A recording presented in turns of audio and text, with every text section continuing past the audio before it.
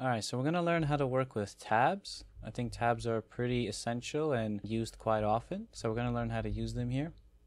Now what a tab is, if you go to an object, in this case I'm going to use the sign as my dummy over here. If you go into the component section and you add a common component, you'll see there's a tab option. And this is a tab. The tab is an option that you can click on. And when you click on it, you can trigger something to happen. We're going to go over how to do this.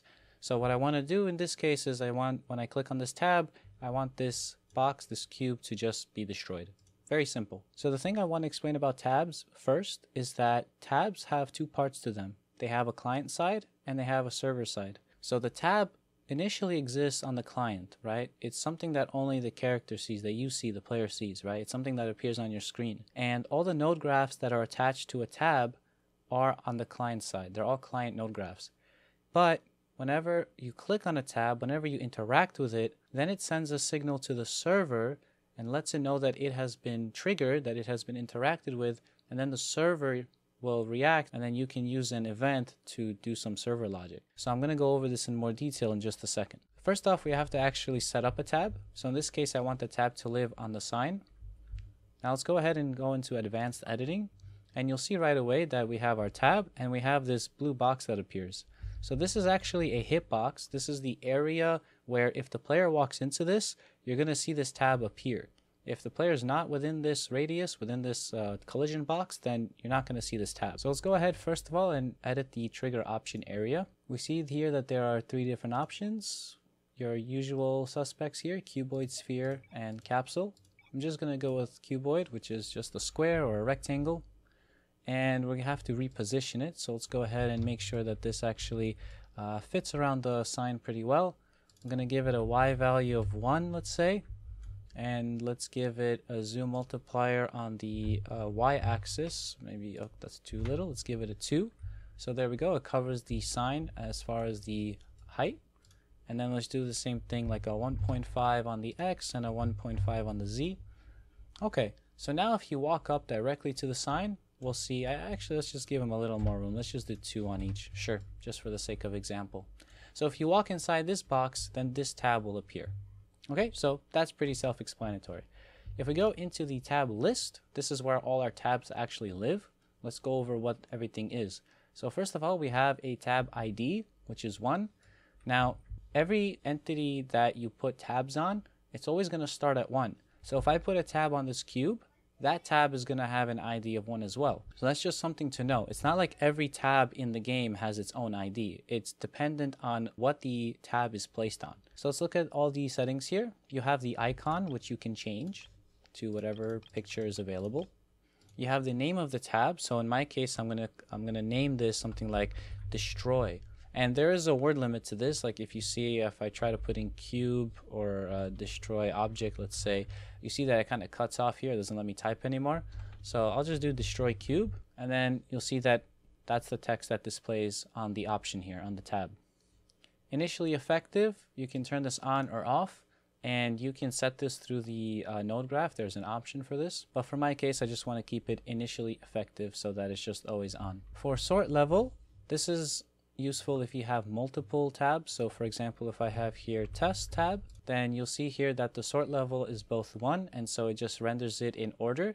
But if I have a higher sort level than this one, let's say two, you'll see that it appears on top. So if I had like 10 different tabs here with all different sorting levels, the ones with the higher sorting levels will appear on top first. Now, as far as the local filters, so there's two different options. We have Boolean filter and integer filter. Now how a Boolean filter works is you actually have to put in a node graph in here, into here, and that node graph will put out a Boolean value. It's going to be a true or a false, a yes or a no.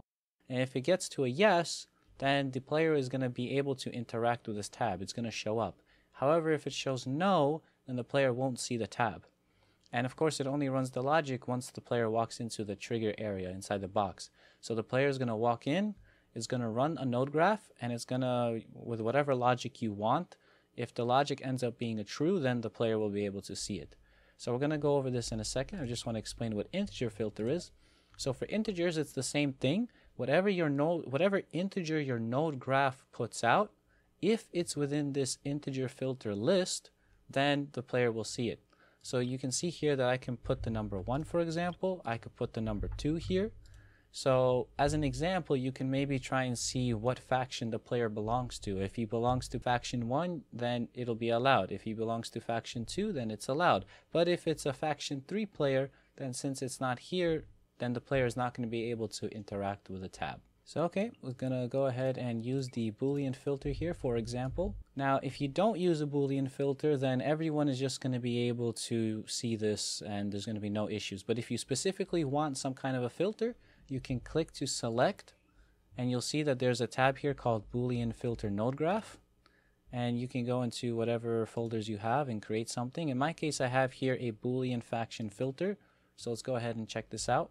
If you go in the client node graph Resource Explorer inside the Boolean. Now this is this is important. It specifically has to be in the Boolean filter node graph because the node graphs that live in this folder only have access to certain nodes that pertain to Boolean return values, whereas the integers also, they're all nodes that return integers. So you know, in our case, since we want this to be a Boolean filter, we have to do this in the Boolean folder. So I already have one here called Boolean faction filter. And how this works is very simple. We get the target entity. Now, what is the target entity? The target entity for a tab is always going to be the thing that enters the trigger area. In our case, it's going to most likely be a player.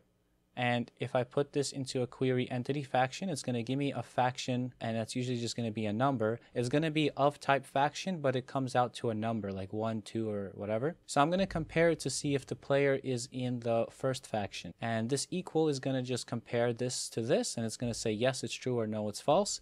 And it's going to output to the node graph end node. Now this node exists on all the node graphs that you make inside of the Boolean filter. Okay, so this exists always, it's always here. And it's going to return the boolean that you plug into it. So let's go ahead and plug this in. If I click on this right here and select my boolean faction filter, you'll see that it gets added. And let's just go ahead and quickly check because I was messing around with factions earlier. So let's select this to everyone. Okay, so now player one, which is me, is going to be part of this initial player faction with an ID of one. Now this ID is what the query entity faction is going to put out. It's going to give me one. So what's going to happen here is you see I walk up to it and the tab displays. Now you're not going to see any text here because I'm not level 3 creator. Uh, you can help me get level 3 by playing the level in the description if you live in the NA servers.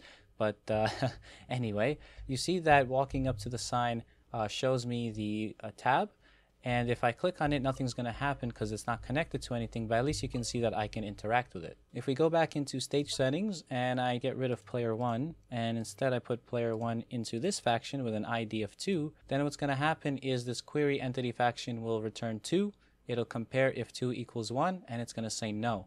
And in that case, I'm not going to be able to even interact with the tab. So you see that if I walk up to the sign, nothing shows up. Now, okay, I'm going to show you guys how to do an integer filter. So let's go ahead and put in an integer of 1 over here and 2 over here. So you see that this list contains both values. And if we go ahead and select our node graph here in the integer section, I have an integer faction filter. And in here, we're basically getting the target entity, we're getting the player entity that it belongs to, and we're checking the faction custom variable here, which on my player, you'll see that I added a custom variable called faction with a value of 1. And so this variable value is going to output into here, which expects an integer, which is why the uh, type is integer. And since it outputs a value of 1, it's going to allow me to interact with this uh, tab because 1 is part of the filter list here. And so you can see if I walk in, there we go. It allows me to interact with it and click it and whatever. However, if I go back in here and I change this value to 3, which is not in the list, you'll see that walking up doesn't allow me to interact with the tab. Okay, so now that we know how this more or less works, I'm going to just remove the node graph so that it just always allows me to use it. Okay, so now we actually want something to happen when we click on a tab, right? So we want to listen on the server. There's a node that listens to all the tab interactions on the object, on the entity that the tab is attached to. And so when that event triggers, we want to destroy this object specifically, right? So let's go ahead on this sign and add a node graph. I have one called destroy object. Let's go ahead and check it out. And you can see it's pretty simple. When the tab is selected, we get the tab ID and we just compare to make sure that it's the tab with the tab ID of 1. Now this is just best practice. In my case it doesn't really matter since there's only one tab on the road sign. It's not going to have another value than 1. But if you have multiple you obviously want to control which tab is allowing you to do certain logic because you might want to have different tabs do different things, right? So in my case I'm just comparing to see that it's the tab with the ID of 1 if it's true, then I'm going to use this yes branch and I'm going to destroy an entity and I'm going to pass in the GUID of that cube right here and it should just destroy it. So let's go ahead and test this out. All right, so let's go ahead walk up here. Let's click it and there we go. Our cube got destroyed and we're able to interact with this just because we don't have a node graph that's filtering anything. It's just automatically on.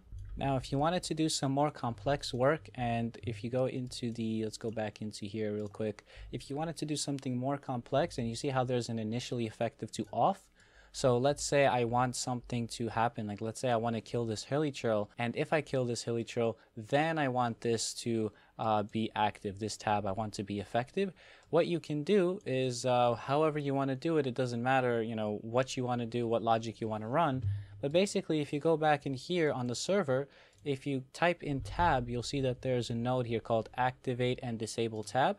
And it's in here that you can pass in the uh, target entity that has the tab. So in my case, it would be the sign. I would pass the sign in here. And then I would give the tab ID that I want to activate. And then I can click on no to disable it and yes to activate it. Very simple, very easy.